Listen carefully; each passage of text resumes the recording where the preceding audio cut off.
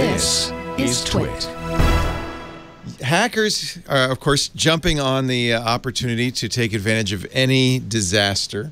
According to the FBI, hackers are sending, get this, this is really low, malicious teddy bears via the Postal Service, uh, along with USB drives. The FBI warns organizations and security professionals that cyber criminal groups have been targeting various businesses with malicious USB devices acting as a keyboard when plugged into a computer, injecting commands, downloading and executing a JavaScript backdoor.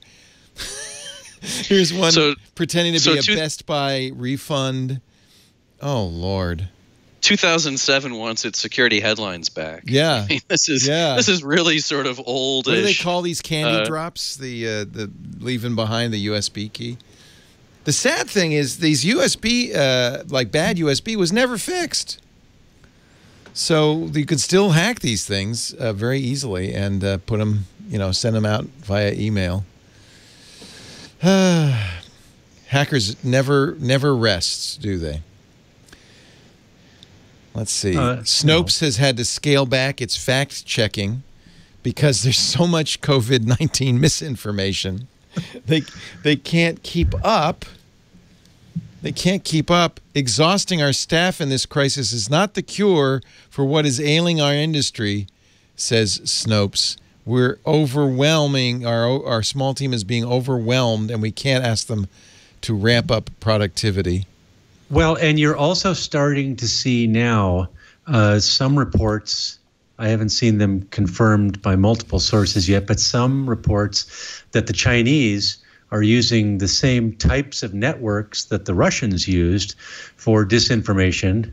Uh, and you you know, so so coronavirus disinformation uh, schemes uh, coming coming from China now, Yeah. and Russia. and coming and from Russia, China and course. Russia. Yeah, yeah. it's it's pretty it's pretty gross. There there is that uh, story from uh, from Reuters. Joe Menn wrote up on the uh, uh, cyber. Oh God, what are they called? Um, uh, the uh, CTI League, the Cyber Threat Intelligence League, um, which is fighting uh, uh, COVID nineteen misinformation, disinformation. Are they like the Justice and League? Is that who these guys are? Yeah, I mean it's a it's it's a large group of of professional hackers, uh, cybersecurity experts. Um, Marc Rogers, who is uh, a VP at Okta, um, and he's a he's well known in the cybersecurity and infosec communities, is one of the four people who's organizing this.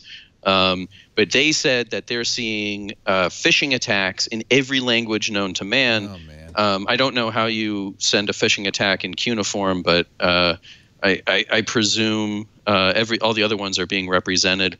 Um, and people are so freaked out by coronavirus and COVID nineteen that uh, that they're clicking on things that they really ought not to be clicking on.